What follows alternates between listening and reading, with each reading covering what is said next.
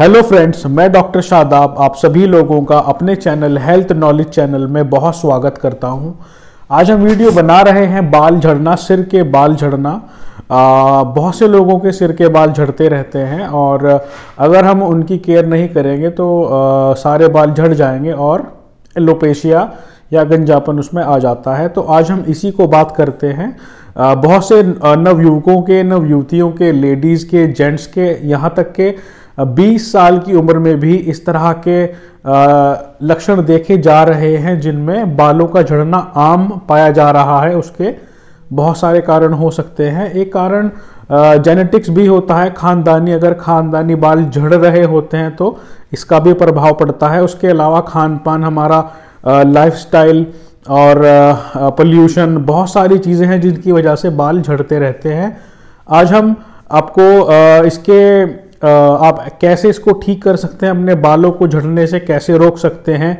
या अगर आपके बाल झड़ गए हैं, गंजापन आ रहा है या आ गया है और दो साल के बीच में अगर दो साल हो गए हैं आपको बाल उड़ते हुए, झड़ते हुए, या बिल्कुल आप, बिल्कुल आधे गंजे हो गए हैं तो ये वीडियो आपके लिए ही है।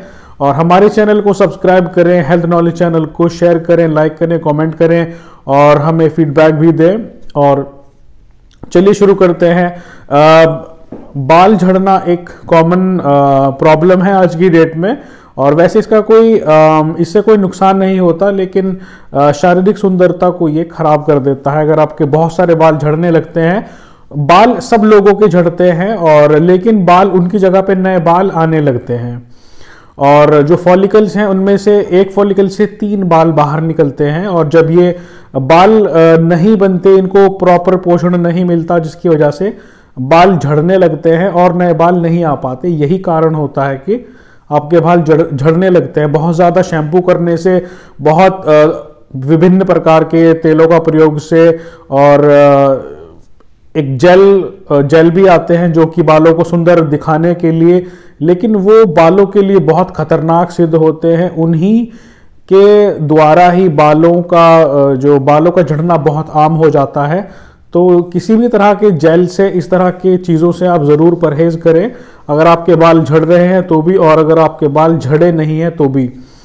तो बात करते हैं लक्षणों के लक्षण। भाई, यही होता है इसमें कि आपका जो सिर में डेंड्रफ रहता है डेंड्रफ की वजह से भी बाल झड़ जाते हैं और उसके अलावा बाल झड़ने लगते हैं। जितनी बार आप कंघी करते हैं, उतनी बार आपके बाल हाथों में आ जाते हैं और फिर आप एक चिंतित भी होने लगते हैं। बहुत सी दवाइयाँ करते हैं, दवाई असर नहीं करती। आप एलोपैथिक डॉक्टर्स के पास जाते हैं, वो आपको शैम्पू और बहुत सारी ऑइंटमेंट सिर में लगाने के लिए, धोने के लिए, बहुत सारी दवाइयाँ दे देते हैं खाने के लिए, लेकिन आप थक हार कर बैठ जाते हैं, कोई उसका सोल्यूशन नहीं निकलता। तो होम्योपैथिक में बहुत अच्छी अच्छी दवाइयाँ हैं जिनके प्रयोग से आप बिल्कुल ठीक हो जाएँगे। अगर आपके बाल झड़ने शुरू हो गए हैं तो आप ज़रूर इस वीडियो को पूरा देखें और जो दवाई आपको बताई जा रही है, मैं आपको दो दवाइयाँ बताऊँगा। एक दवाई खाने के लिए और एक दवाई लगाने के लिए, जिससे कि आपके जो बाल हैं झड़ना बंद हो जाएँगे और उसकी जगह पे नए बाल आपके निकलने लगेंगे। कंटिन्यू कई महीने तक तो आपको ये दवाई लेनी है। कम से कम चार से पाँच महीने या छः महीने भी आप इस दवाई को ले सकते हैं।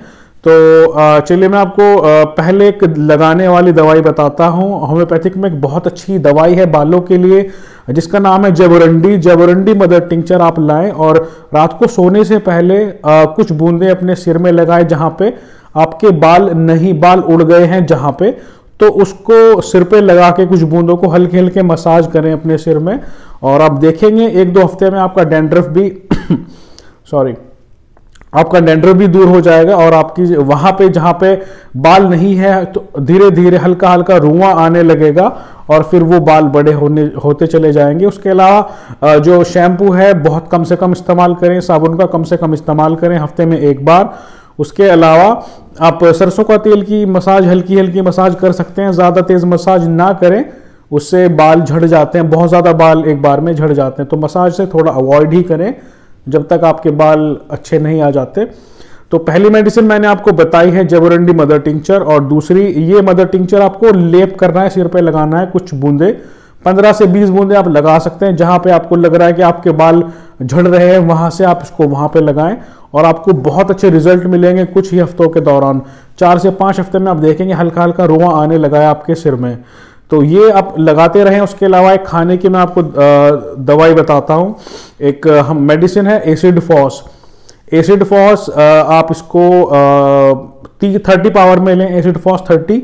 आप इसको दिन में तीन बार पाँच पाँच बूंदे दिन में तीन बार आप जीप पे डालेंगे तो आपके जो बाल झड़ना बंद हो जाएँगे और आपके नए बाल निकलने लगेंगे। तो दो दवाइयाँ मैंने आपको बताई हैं। उसके अलावा एक दवाई मैं आपको ऐसे बता देता हूँ जो उन लोगों के लिए खासकर है जिन लोगों के बाल जेनेटिक्स खानदानी प्रॉब्लम में झड़ते हैं, उन लोगों के बाल बिल्कुल झड़ जाते हैं, जिनको ये खानदानी होता है। एक टाइम बाद आप इनको 40-45 साल तक तो रोक रोक सकते हैं बट ये झड़ने ही हैं बिकॉज़ ये आपकी जीन में है और ये आपकी, आपका हिस्सा है आपके सिर पर। बालों का ना होना तो आप इनको रोक सकते हैं कुछ टाइम तक। और मैं जो ये दवाई बता रहा हूँ, जो मैंने दवाई पहले बताई है, वो सब लोगों के लिए है। और ये जो दवाई मैं अब बता रहा हूँ, इसका नाम है थूजा ऑक्सीडेंटलिस टू हंड्रेड। ये केवल एक दवाई है, आपको सिर पे लेप तो आपको वो ही करना है, जो मैंने बताया जबरंडी मदर टिंचर का। उसके अलावा थूजा ऑक्सीडेंटलिस उन लोगों के लिए है जिनको खानदानी बाल झड़ने लगे हैं, जिनको खानदान में उनके फादर, ग्रैंड पेरेंट्स और उनको पूर्वजों को भी बाल झड़ने की प्रॉब्लम थी। उनके लिए बहुत अच्छी थूजा ऑक्सीडेंटलिस बहुत अच्छी दवाई है, बहुत इसके फ़ायदे हैं और इसको हम अगली वीडियो में और अच्छे से एक्सप्लेन करेंगे कहाँ कहाँ पे ये काम आती है, कहाँ कहाँ पे इसका उपयोग किया जाता है। तो आपको तीन दवाइयाँ बताई गई हैं, इस sorry. Acid phos thirty power में लेनी है आ, सब लोगों के लिए। दिन में तीन बार पाँच पाँच बूंदे और जबरंडी मदर टिंचर आपको लगाना है सिर पे दिन में एक बार सोने से पहले। थूजा ऑक्सीडेंटल इस दिन में आपको एक ही बार लेनी है दो बूंद सुबह को आप जी पे डालेंगे उन लोगों के लिए जिनको खानदानी ये प्रॉब्लम है बालों की। और लगाने वाली आपको भी लगानी है। तो चलिए अगली वीडियो में आपसे फिर मिलते हैं एक नए उत्साह के साथ एक नई इलाज के साथ। अब तक के लिए अपना ख्याल रखिए और हमारे चैनल को सब्सक्राइब करें। लाइक करें शेयर करें. Thank you so much bye